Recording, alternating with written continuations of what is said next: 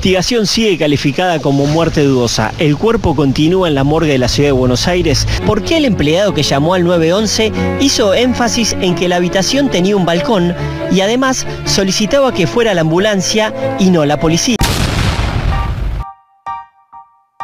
Millones de fans en el mundo nos encontramos tristes por la repentina muerte del ex integrante de One Direction, Liam Payne.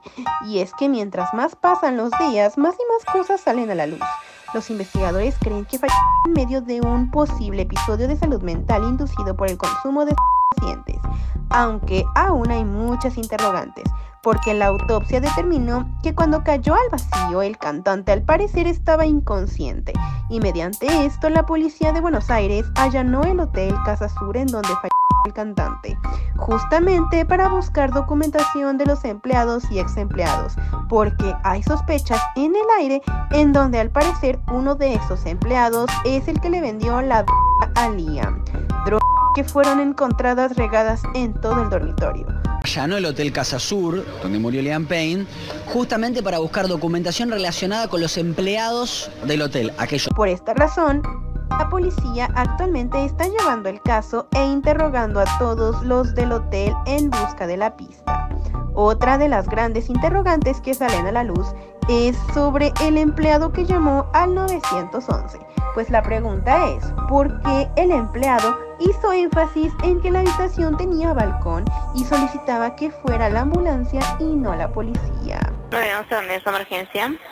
Hola, buenos días. Llamo del Hotel Casa Sur Palermo, Costa Rica 6032. ¿Qué sucede en el lugar, señor? Eh, bueno, tenemos un huésped que está sobrepasado de droga y alcohol, que está rompiendo toda la habitación y bueno, necesitamos que manden a alguien, por favor. Yo no sé si corre riesgo la vida del huésped. Eh, está en una habitación que que tiene balcón y bueno, estamos un poco con temor de que haga algo que, que le ponga en riesgo su vida. Y es que hay una incógnita aún más grande por la cual se cree los empleados del hotel lo tienen bien guardado. Esta es las cámaras del hotel.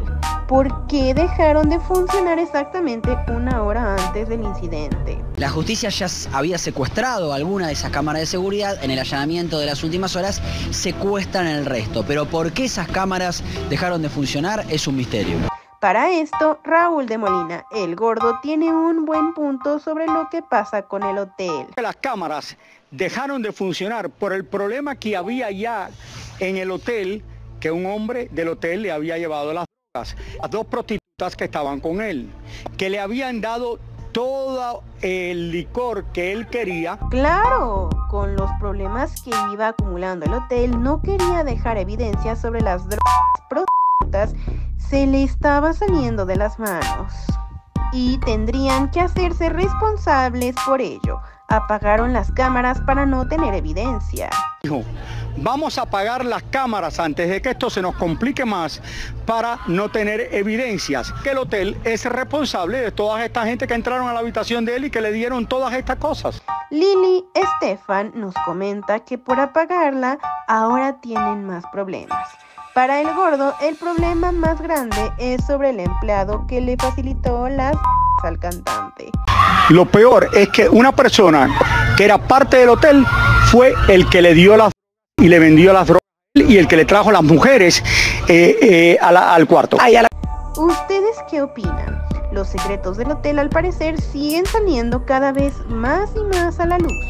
Te leo en los comentarios.